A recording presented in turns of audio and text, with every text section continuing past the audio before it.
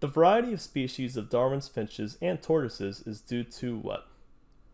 Choice A, adaptive radiation, is when multiple species come from a common ancestor. This answer makes sense because we have a lot of species of finches and tortoises which are very similar but different, so it's evidence that they all came from a common ancestor. And divergent evolution means that we form a new species from a previous one, so that kind of goes hand in hand with adaptive radiation.